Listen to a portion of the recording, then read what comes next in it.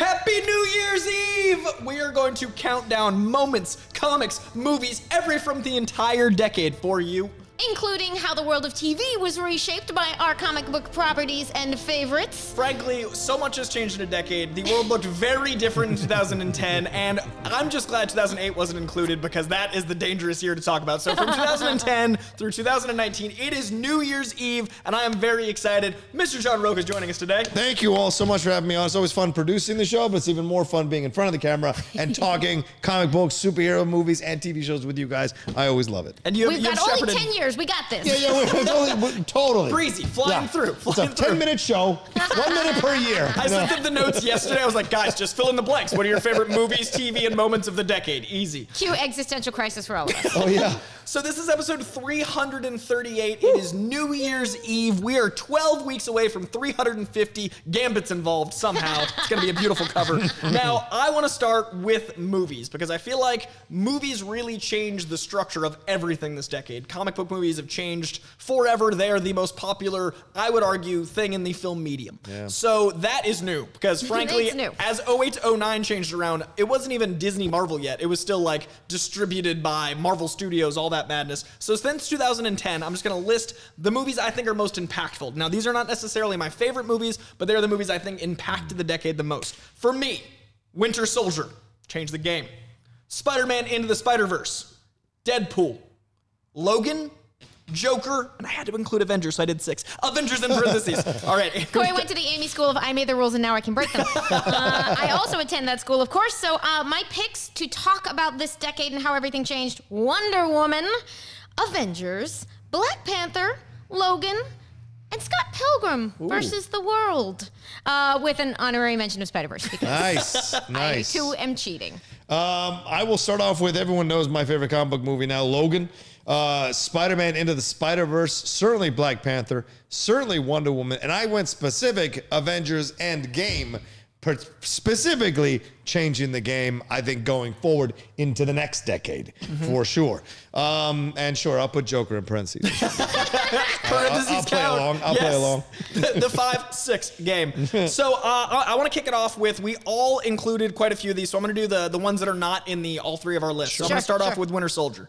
For me, Winter Soldier was when they announced Robert Redford and when that first trailer came out, when they made a full on 70s Harrison Ford espionage thriller. That was the moment I knew that more people would start jumping on. More people would be available to the genre because we'd seen a lot of really good moments in these films. We'd seen a lot of really strong integrity of film. But when they advertised it as an espionage thriller and then it followed through and it also expanded what villains could be. That movie had three comic book villains, but it also had the idea of subverting all expectations by having the government out for Captain America. So for me, that was planting the seeds of like, no, no, this genre is serious read a comic book, it's not kid stuff anymore. And also like the muted costume, the way they handled that movie, and it was our Russo brothers introduction. So for me, Winter Soldier was uh, more of a zeitgeist shift that that I think we'll look back on in 20 years, like in those giant books of like in the 2010s. Uh, did you guys? Are, is Winter Soldier still up there for you after it all these movies? absolutely is. Uh, like I on my list, I just put Avengers on there because it's my cheating representation. Like Black Panther's mm. also- also on there, but like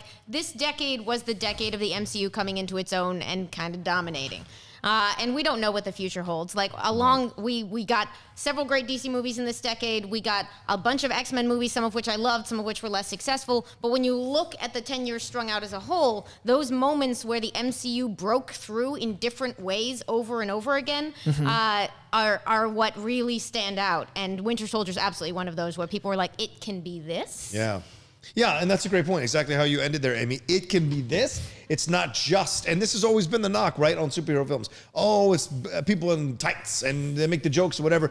But, you know, Dark Knight kind of opens the door. Iron Man opens the door a little wider. And then you go into what is the um, what the results of that opening of the door in 2008. 2000, the entire decade of to the 2010s is the result of that door opening the way it did. And you had to keep upping the game in order for this uh, medium or this genre to survive over this decade and flourish the way it has. Certainly, Winter Soldier is one of those big, strong footprints in the MCU, but in the superhero comic book world overall because it showed you they happen to be superheroes, but the spy stuff is real world stuff. The idea of uh, our privacy being violated, the idea of people who take the idea of protecting a country a little too far and violate our civil liberties in the process without us knowing it. How far are we willing to go? Those kinds of conversations in Winter Soldier are what we used to read in the comic books all the mm-hmm. time. And Yep. to see them pop up on the big screen, which is why we love those comic books, to see it pop up on the big screen is a massive deal. And, and the fact that it achieved that victory by being faithful to the ideas Absolutely. contained in the source, not one specific story, because a lot of it's obviously drawn from Briggs Right. Winter Yeah. Soldier app, but it's a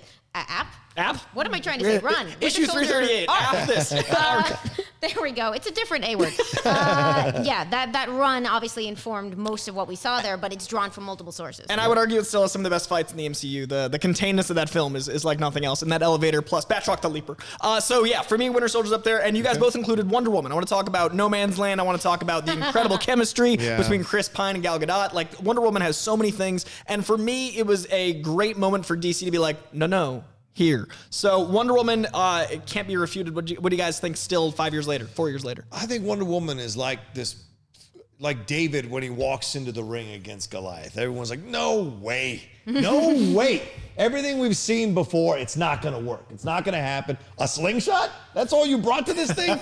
and so, like, you get as if their task wasn't monumental enough to try to turn around the narrative that female superhero films don't sell. Right.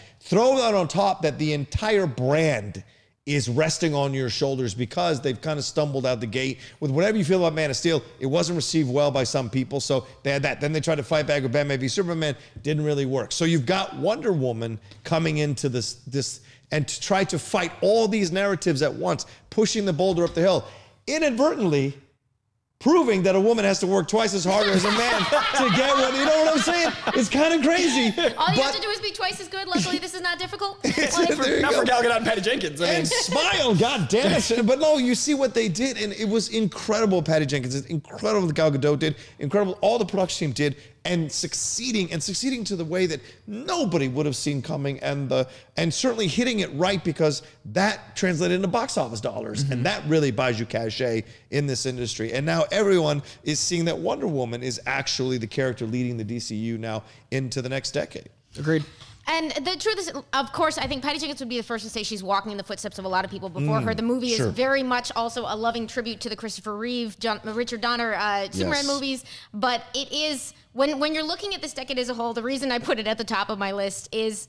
Uh, when, when we're looking back on the history of superhero films, the decade in which, after 75 years, they made a big screen Wonder Woman movie Yeah. uh, uh, which is we will never be able to explain to future generations how obvious it should have been and how much in doubt people felt it was. Hmm. Like, and I, you know, other people's doubt is infectious. If I don't think other people are going to take a chance on thing, that can infect me. Even though hmm. it's like she's literally one of the most iconic superheroes of all time. It should be easy money, cakewalk, make a movie, make a movie every couple years. Mm-hmm. And it took a long time to happen, but when it did, it was worth the wait.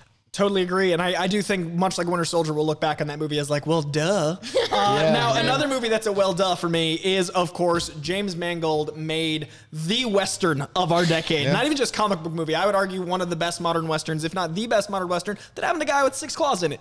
I love Logan so much, and I love the black and white cut. I love that this movie has so much versatility. I love how rewatchable it is. I love how brutal it is because I always felt like they made X Men, comma Logan, comma, and the X Men movies, mm-hmm. and they finally let Logan be a Wolverine movie. So it made both things better. It let the X Men breathe, hopefully in the future, and it let Logan be his own thing. And the story is brutal. The amount of depth in in Charles's performance, the amount of hum, humanness in every frame of this movie is is inarguably separate from how people perceive the genre. It's just a damn fine film. Logan for me is one of those movies where like if your grandpa doesn't like comics, you show him Logan. Uh, after it's only been a couple years, but I still I feel like Logan's timeless. I don't feel like that recently happened. Uh, how do you guys feel about Logan now? I, I noticed it was on all three of our All three of our lists. lists made the cut. Uh, for me, I put it on my list not because Logan's necessarily like it, it isn't exactly one of my top favorite films. Uh, I mean, obviously, it is one of the finer comic book films that have been made, like uh, during this beautiful time of flourishing comic book films. But I think it's important in a way. Like it's there, it's on my list because when you look at this decade, you have to talk about Logan and Joker and the advent of R-rated superhero movies and the new directions that things are going and those pathways to getting really interesting performances, to Patrick Stewart subverting his own legacy as Professor X, uh, which was, I mean, what you want out of stories is something you're not going to forget seeing that happen. You're not going to forget the, the beautiful storytelling and theatrical experience of encountering those very interesting takes and twists on things. Uh, so I'm, I'm very glad it exists, uh, and it's in my top five.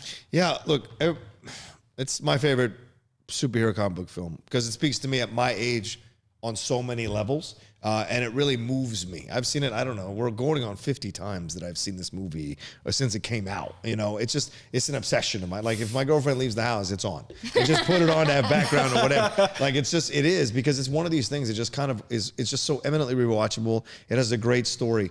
But let's also give it its due. When you talk about R-rated things, it's a great point you bring up, Amy, because just like us, when we started reading comic books, right? We're reading this, this the cool stuff, the safe stuff. Dark Knight Returns shows up and it blows the doors off the game.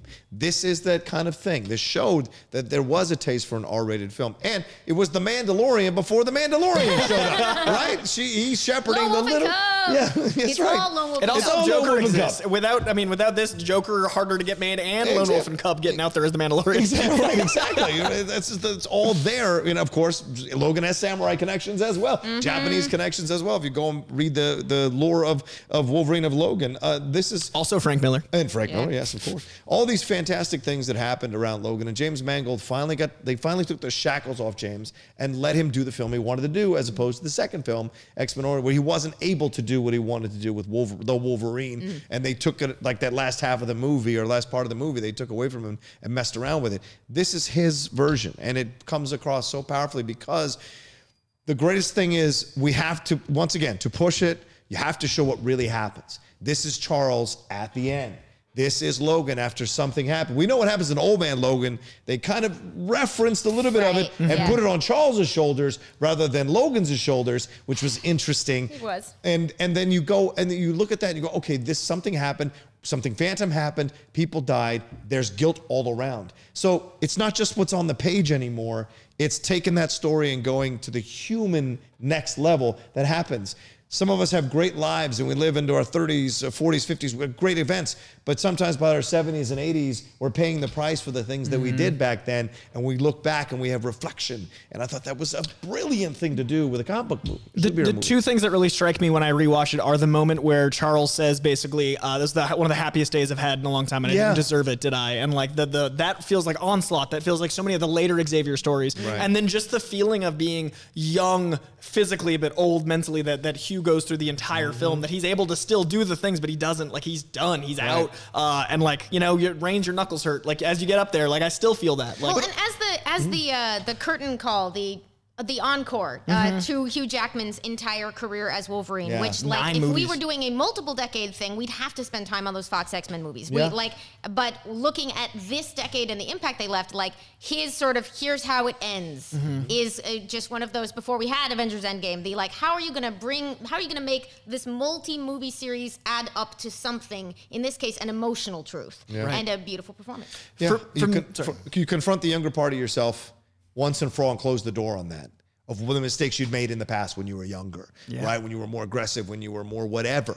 And you're like, okay, as an older person, him confronting the younger Wolverine is that. But also the lesson of what he tells X23 at the end, right?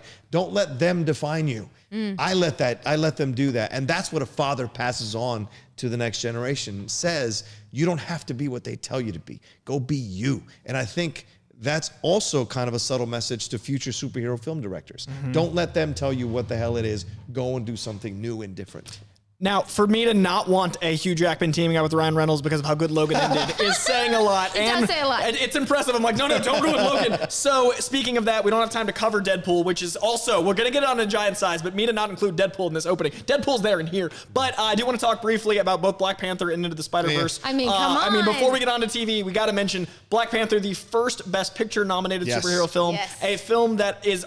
I would say, inarguably, one of the most important films, Hard Stop. Mm-hmm. Uh, I love what this movie speaks to. I love the layers of metaphor. I love that, much like comic books, books, it subverts expectation in its bright shininess, and their performances are amongst the best in any film in the last five years, much less 10. Uh, that movie holds up to me better upon rewatch. Mm. Uh, how do you feel about it now?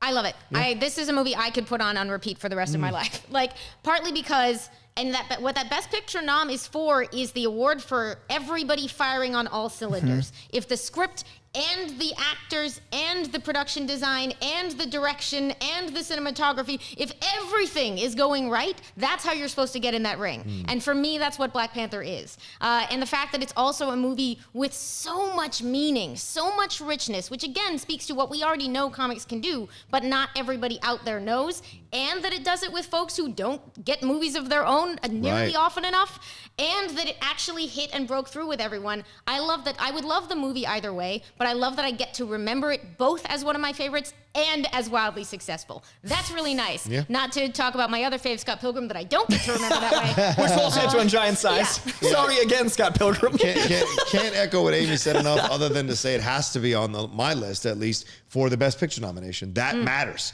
That pushes again the medium or the genre forward even more. So you have to respect that. And yes, all the compliments you've lauded on the film and then some. Yeah. And Killmonger and the soundtrack are still amongst the best of Marvel. Period. I love the villain. I love the. like, ah, it's just great. Uh, and then finally, into the Spider Verse before we get into TV. Uh, I'm not big on animation. I like it. I respect it. I just don't find myself watching it. I have nothing against animation, but I haven't seen a lot of the animated Marvel. I haven't seen a lot of the animated DC. There's not enough hours in the day. Frankly, it's not a disrespect. It's just time.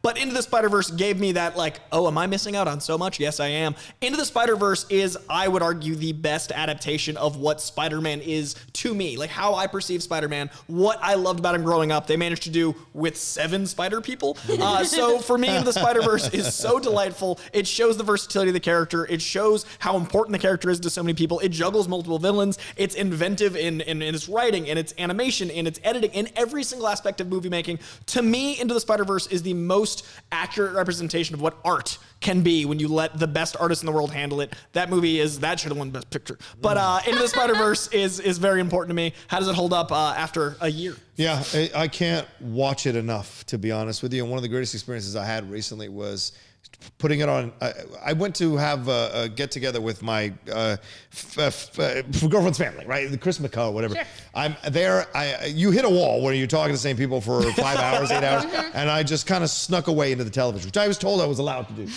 so I sneak off into the television, put on Netflix, put on Spider Verse, just to kind of take my mind away from things the kids come filtering in one by one and sit on the couch next to me, and we all have a communal experience of watching Into the Spider Verse together. And you know, the parents come in like, "What's going on here?" I'm like, "I'm just having a good time with the kids, enjoying this." And that speaks volumes that it appeals to us on multiple generations. For those of us who grew up loving the comic book movies, it brings you back to that time when you discovered them again. But also, it's so innovative that it shows, or it, it shows you a new dawn for what can happen animation-wise as a feature film, and mm-hmm. that's great.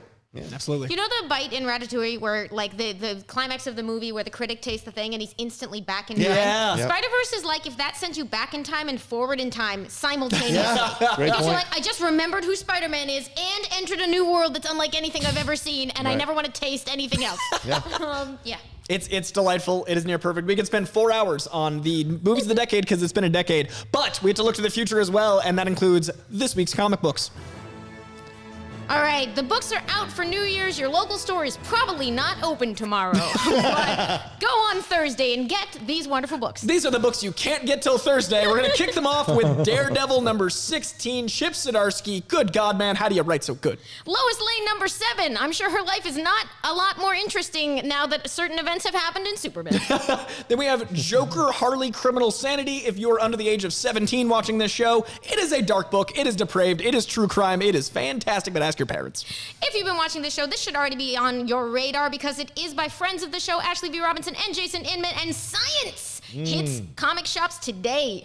This next book, I need only say three words, and those words are Garth Ennis and Punisher. This is a new Garth Ennis run of Punisher. It uh, the first issue snuck by me. I've tried to get two and three to people's awareness. This is issue three. Pick up them all. It is a very good Punisher tale. All right. Anything What- jump out at you? Number one, the Daredevil one. Jesus, that cover. Mm-hmm. I mean, and all the people involved in it, it makes it looks so fantastic. It has Sienkiewicz vibes to it. We were saying Mm-hmm. off mic, and of course Punisher. Both of those, like that's you know, those are Rocha books. That's Yeah. all I can tell you. Uh, you He's know, getting I back in, it. folks. We're, we're Yeah. converting him. We're gonna Yeah. bring him to the dark side I'm of the getting wallet. that folder soon, I guess. Don't tell anybody. The cover artist Tedesco is one to watch. Yes. If people have not learned his name, he is incredible. But yeah, it's it's not that big a week this week, but there's a lot of big stuff. There's new Star Wars, there's new Thor, there's a whole bunch of stuff hidden shops this And week. last week, the uh, the a giant event book kicked off at Marvel, and also uh, a new Venom arc started with Mark Bagley, one of my all-time favorite artists, uh, working with Donny Cates, friend of the show. So it is a good time to be a comic fan. And if you're home with the family and you need the retreat, much like Into the Spider Verse can bring, comics can also bring them. But you can also bring those books out to your family, have a communal conversation. Comics are truly ageless. So it's a really cool thing to, to talk about what you're reading, and your parents will be happy you're reading because you're reading. Uh, so, frankly, I'm excited that the holidays are here. Uh, as per the X Men sweater, I am I am ready to dive in. But before we have lots and lots of turkey, I want to talk about the TV of this decade, which, as much as film has been incredible, I would never expect many of the shows we got this decade to exist, much less be as good as they are. And it's it's the advent of technology. It's the betterment of the society for like you know voting with your wallets, where your time goes, and it's arguably it's it's studio execs realizing, hey, this thing can be taken seriously. We don't have to make a gosh shucks show. So uh, I want to run around just like we did last time. Yeah. Our most impactful shows of the decade. I went with. Watchmen. Yes, it just happened. We'll talk about it for the next hundred years, much less the next ten. Next up, we got Daredevil. I am hashtag save Daredevil for life. When that show started, I didn't know something could be that good, and here we are. The Boys, once again this year, giant year in comics, but I would argue The Boys is up there with a decade. We've got Runaways, a show that showed you can have 14 cast members all be great. uh, then we got Legion. In-camera editing will never be the same. And then I've got parentheses because I made the rules spreadsheet. sheet. The Flash. The Flash is definitely on there for me. Good golly, Miss Molly. Now, what do All you right. So I tried to get my brain around all of comic book based TV for this decade. And y'all who watched last week's show know that I ran out at 37 just trying to talk about this year. So there's too much. Let's get that right off. Um, I cheated by making categories. Number one is the Arrowverse. The whole Arrowverse was born and took over our brains in this decade, starting on 2013, in 2013 on the CW. Followed by Marvel Netflix, RIP Marvel Netflix, 2015 through 2019, bringing us Daredevil and, of course, Jessica Jones, which I think is a truly stunning achievement. Uh, this decade, and I did, took me a second to do the math on this. Walking Dead. Walking Dead is a huge deal and changed TV uh, and comic books' relationship with TV in a really substantial way. Uh, and then Watchmen uh, and Doom Patrol because I love them so much, and they represent prestige TV coming in and weirdo TV coming in in ways that I cannot wait to see reverberate through the coming decades. And my parentheses was the interesting. When we look back at this decade, we'll talk about the experiment that was the MCU TV ABC attempts, um, and a special shout out to Agent Carter. Yeah, I like that. Uh, all right, so mine is starting off, of course, Watchmen. I don't know where else you start, to be honest with you. It's the culmination of everything that's come before is Watchmen. No way is this possible without everything that's come before. Uh, the boys really blew my my brain out in terms of the abilities of what it can do on TV. Doom Patrol put my brain back together, made me laugh all through what's possible. Legion really was an incredible show to show the idea of how an unreliable narrator can connect to this whole world and play around with multiple timelines. And The Punisher. I think The Punisher season one is the one that I really kind of hold on to still and still rewatch because it is the first uh, time that you've seen a superhero show address PTSD and mental health issues and do it in a real way uh, and also be incredibly funny uh, with his relationship with Micro and all that happened uh, with his wife and everything like that. There was a lot that, that there was enough play within the show that the brutality when it happened carried even more weight because it was so out of pace of what you'd seen before, but showed you that in the real world, yeah, this is all really possible. So I think since all of it is fantastic. And I would I'd say that Jon Bernthal's up there with your Downey Juniors and your Ryan Reynolds as Hell the yes. cast. Like that is the most logical casting of all time. How did we not break his nose like John Romita did? Like Jon Bernthal's Yeah. nose is a piece of art. Uh, now we should, with time constraints, I think Amy's uh, parentheses are actually going to save the day. I like your cheat code here. Uh, so let's kick it off with Watchmen because that made all three of our lists. Yeah. It doesn't fit in any other world because it is a brand new show. Nothing should work about Watchmen being a show, and nothing should live in that universe. I enjoy Doom Patrol, but don't do that to that universe on TV. Uh, now, what I've really enjoyed about Watchmen is it's brought in non-comic book fans. I was at, uh, I went to Taco Bell yesterday because it's the holidays, and I have some regrets, but mainly happiness. And everyone in line behind me was talking about Watchmen, and what was cool was two people started talking to me behind me, and then the two people behind behind them chimed in, and then I was able to turn around, and five of us, strangers, were talking about Watchmen in a Taco Bell. That's beautiful. I never thought that would happen, especially in that setting. Mm. So it was a really cool experience. They were talking about how some of them wanted 12 episodes, how I really appreciated the nine. We talked about the symmetry. We all showed each other's things we hadn't seen in the other's work, and all of us didn't know each other and were very different types of people, which was really cool. So for me, Watchmen is one of the more broad, holy crap, everyone can get into the show, and it appeals to so many types of people. Mm. And it's also one of the most highbrow pieces of entertainment ev- out there because you have to, you know, there's a Peteypedia you can dive into. Yeah. The novel is a literal novel. There's a lot of density to this work. So the fact that that's translatable to everyone is really impressive because it's not a light read or watch. Uh, it is only a week gone, and I miss it dearly. Uh, so it's hard to like culminate the decade. But I agree. I think everything led to this. Uh, Watchmen, briefly. How do I'm we gonna put a stranger on blast right now, but it's an adorable blast. Uh, but to the wonderful lady who called the shop the other day and asked, like, normally when when comic book things come out, it can be really tough where someone's like, "I liked Avengers. What do I read?" And you're like, "Ooh, okay." I need to know a lot more to figure out how to direct you. I got a phone call at the shop, which is now one of my favorite phone calls, of someone who sounded like they knew how tough this was going to be. and they were like, hey, are there any comics that, you know, tell the story of like the original 80s Watchmen? And I was like, lady, I have exactly what you need. Your name is on it. It is behind the counter. Please enjoy. Uh, it is a, an absolute thrill because it's weird to me to imagine people coming to this in that order, but that's what you want to happen. That's what you hope will happen. Uh, they. The book and the show are very different, but I never thought I'd be so grateful that someone made a TV show that is a sequel to Watchmen and then lied their butts off about whether it was a sequel to Watchmen just long enough for us to get super on board. Use Uh, that holiday money on Watchmen. That's what she's saying. Yeah, it was great. Yeah, oh no, I, I don't know what more I can add other than to say that this is what you're supposed to do. Take the spirit of something that came before. If you're going to tackle it, you take the spirit of something that came before and you honor that spirit, what you mm. create, but you find a new and inventive way to bring that spirit out and put it in a different context. The racial context of Watchmen is one of the gutsiest things I saw in 2019 in the entire decade. I'll be honest with you. Maybe even in the entire, so far, the century so far. Like it just was so gutsy the way it handled it. And I wonder if there is a season two, what parameters they set up for that that'll be just as fulfilling or can be just as fulfilling. I don't know. But I you have to savor this for what it was. And it's right. It crosses over. I, I know people who had never read a comic book who watched Watchmen and were like insane about it. And we had these great conversations, right? And then there are people who read all the comic books and are just like, well, what? Oh, this is great how they attach this. Like Geek Buddy, the podcast that I do, the Geek Buddies. I mean, Mike and Shannon and I are we're just massive fans of the Watchmen comic book. We've shared it many times. So to see it come to life like this, breaking down every episode, was one of the joys of the hmm. last three months, honestly. And it gives me hope that we can make things really smart, really dense, Yes. and still be accessible. It gives me hopes that studios are going to be like, oh, we can write. And that, that I'm very excited. Uh, now, speaking Yeah. of incredible writing and being very niche, that did way better than I expected. Five years ago, the Marvel Netflix universe kicked off with Daredevil. We all included a Marvel Netflix property Yeah. on our list. Uh, we got Daredevil, we got Jessica Jones, we got Punisher, we got Iron Fist, we got Luke Cage, we got the Defenders for a second.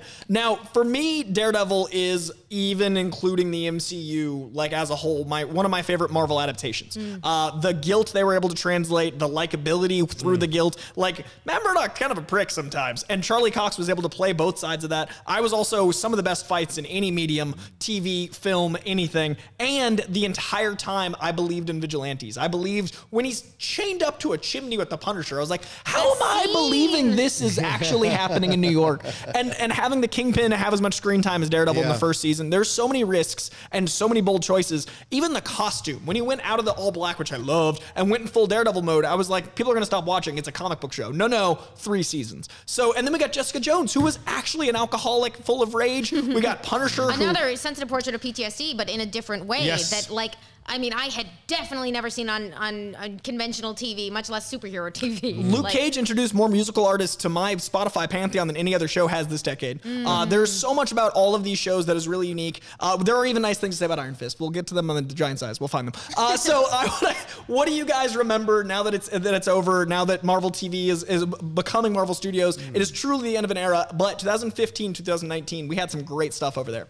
I I think what I come back to with Marvel TV is that look, the the films are great, but the films also feel like above things and mm. event things. This is all the way down to the blood and guts, the earth, a foundation of comics, right? You bring it all down because none of these people, except for Luke Cage and and Jessica, necessarily have like overt superpowers, Right. right? Punisher is just a soldier.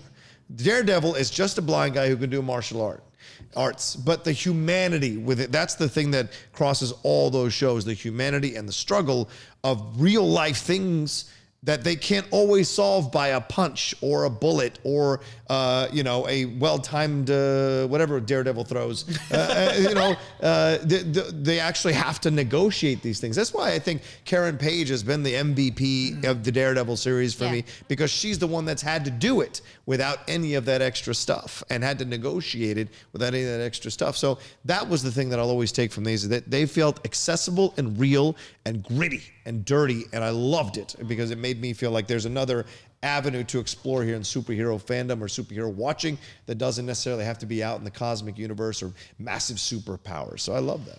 So the, an interesting thing about uh, talking about the Marvel Netflix years, alongside especially like the growth of the Arrowverse on the CW, is that they were two different kind of proof of concepts for serialized, interconnected uh, superhero storytelling. Yeah. Uh, and they obviously do different things. They have different tones. They serve different audiences to a certain extent. But uh, I uh, those are a lot of what I'm going to remember. Like the even the, not every swing that they took in the Marvel Netflix shows worked for me, mm-hmm. but they were always trying to do things that push that forward, make mm-hmm. interesting out there choices, but serve the humanity of the characters and serve up moments of interconnectivity that you can only do in settings like this and that mm-hmm. are so rewarding. So yeah, I don't think like I, Defenders is not on our top of the list thing, but they. The moments of those universes being connected. Rosario Dawson is connective tissue. Yeah. Karen Page is connective tissue. The lighting is connective tissue. I'll never forget the lighting in the Is Defenders. Rob Morgan connective tissue too? Is, did he show up in multiple uh, I think so. MC Marvel TV shows? I thought he did. Which Maybe part not. is he? I'm so sorry. I'm Oh, he's, he's the he's the, uh, the lower voice black guy. He always Daredevil runs into. The, the guy, he's literally in all six shows. Yeah, Yeah, yeah, yeah, he's, he's the, in all he's six the shows. thug. Oh, what was his name? The thug that was like Yeah. always on the like he's like dealing drugs Oh, off by Turk. the Yeah. Turk. Yeah. Turk, Yes. Turk is in everything. Turk is in I didn't know everything, right? played you, Turk. Yeah. Rob Morgan, I knew. Yep, Turk. thank you, Turk. Thank you. You really. And also, I love that Turk always felt like the guy that Spider-Man would take to jail. Like Oh, he was a character that you were like he would pop up in an Iron Fist comic Right. and a Spider-Man comic, and he's always like, uh, I I like that those felt like the comic books to me. Uh, Yeah. I I love that It's the a corner movies. of Marvel that we all know the flavor of that Yeah. they put across to a huge audience that we were like, oh, you're doing the street level. It was even broader than Marvel Knights by the end because uh, the movies, I agree, feel like the event comics. The movies feel like the giant, like War of the Realms, whereas the, the show always felt like something I could have every night to go home to, like a comic book, Yeah. and just dive into. And that is irreplaceable. and I'm really excited for the MCU Let's shows. face it, they were just taking Bendis' Daredevil run where Luke Cage and Jessica Jones were stopping by and being like, that but TV? And we're like, yeah. I mean, I'm not mad. No. Uh, now we also we had we got to do a lot on Giant Size because frankly time, but we also had Yeah. two of us included the boys on here. Didn't get to talk about Joker in the movie section. We will on Giant Size, but the boys to me was holy crap. Adult content can be this good, Mm-hmm. but also this intelligent because there's a lot of really tricky stuff in the comics that. I, I enjoy the comic, but wouldn't have translated as well on TV if they hadn't handled them so delicately. And there's a lot of really important messages in the boys that I didn't think would translate as well because the way they handled the show was art. The way this show comes across is truly sensitive while also being very bold. It's very like it's kind of like the pegging scene in Deadpool. Like if you don't care about the sensitivity of the character, you don't care about the gore and violence. Like there's got to be a man under the peg. So I really like uh, that the, the boys really captured all of the seven while also making Wee Hughie and uh, Karl Urban. Oh, well, I can't remember his name right now. Uh, human. Everyone in the show is human, even the inhuman characters, and it's brutal. Uh, I loved the boys. I know we both included it in our.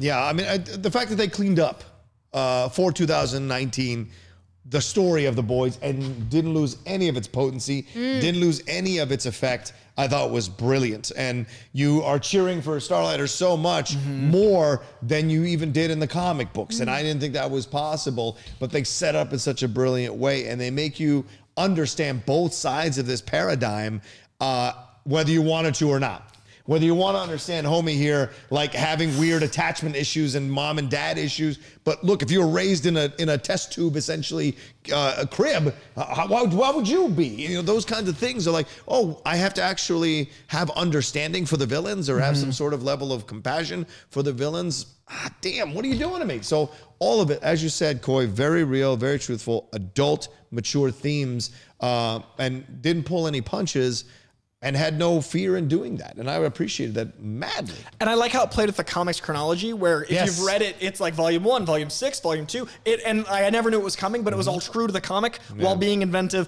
And if you don't like gore or violence or language, or this isn't your subject matter, The Runaways does a lot of the same stuff very well. You care about the villains, you care about the leads. You don't know who the leads are. There's 14 cast members. It's all very good, but it's a little, it's a, it's a tamer if you're not into the hyper violence. Now, before we get into giant size, we're gonna list quickly our five moments of the decade that I think changed things forever, and then we're gonna dive into them on the podcast. For me, the moments are Avengers Assemble. He finally said it, and it's the culmination of frickin' 20 plus movies. Spidey coming home when uh, Sony and Marvel made that deal, that changed everything. Joker clearing a billion, I think will be talked about in box office reports for years to come. Deadpool's entire marketing campaign was the most Deadpool thing we've ever had, and it was perfect. And of course, Daredevil's debut on Netflix.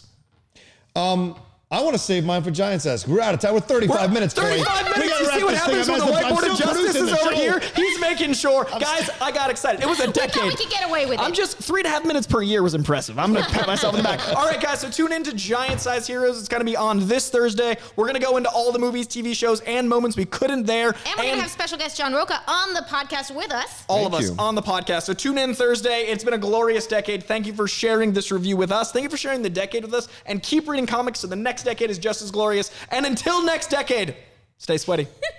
Happy New Year!